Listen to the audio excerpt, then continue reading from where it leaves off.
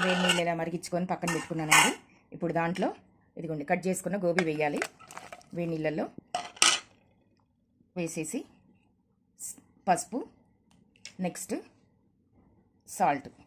ఎందుకంటే దీంట్లో ఏమన్నా పురుగులు అలాంటివి ఉంటే వేడి నీళ్ళల్లో వేసి ఇలా డైరెక్ట్గా కాకుండా ఇలా వేడి నీళ్ళు కాచుకొని గిన్నె పక్కన పెట్టుకొని దాంట్లో ఉంచుకొని ఒక రెండు మూడు నిమిషాలు అలా ఉంచేసాయి. ఆయిల్ వేడెక్కండి. ఇలా ఉల్లిపాయలను కొద్దిగా సైజు కొంచెం లావుగా కట్ చేసుకొని ఫస్ట్ దాన్ని వేపుకోవాలి. తర్వాత అందులోనే కొంచెం జీలకర్ర వేయాలి.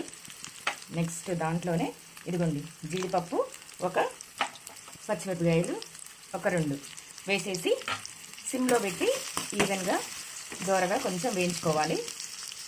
ఇలా దోరగా బ్రౌన్ కలర్ ఏగిపోయిన తర్వాత ఇప్పుడు మనం అందులో టమాటా ముక్కలు వేసేసి ఇవి కూడా కొంచెం ఉడకనివ్వాలి. ఇలా వేగేటప్పుడు కొంచెం పసుపు వేద్దాం. తర్వాత సాల్ట్ కూడా యాడ్ చేద్దామండి.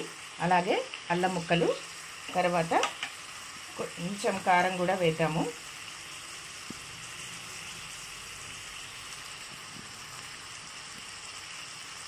కొంచెం కారం వేసేసి చక్కగా ఒకసారి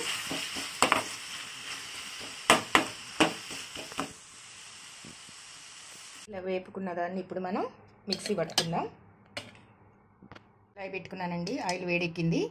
రొ- మూడు స్పూన్ల ఆయిల్ వేసాను. జీలకర్ర ఆవాలు బిర్యానీ ఆకు పచ్చిమిరపకాయలు నెక్స్ట్ కరివేపాకు. దాని తర్వాత కొంచెం కొత్తిమీర అల్లం పేస్ట్ కూడా వేసేసి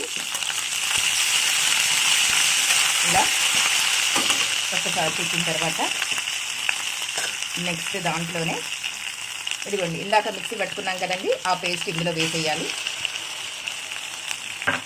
పేస్ట్ వేసేసి ఇది కూడా ఇలా ఉడికిపోయింది ఇప్పుడు మనం దాంట్లో ఇదిగోండి ఆలు.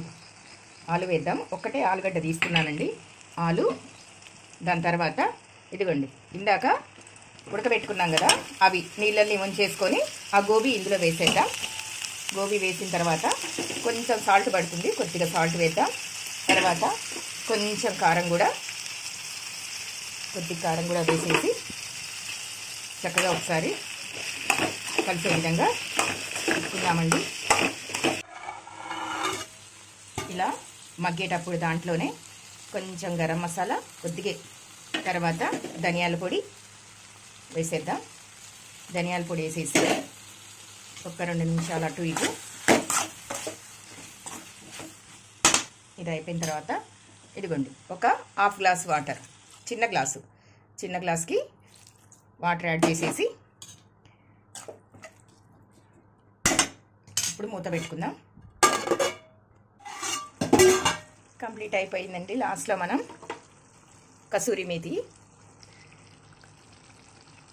దాని తర్వాత కొంచెం కొత్తిమీర వేసేసుకొని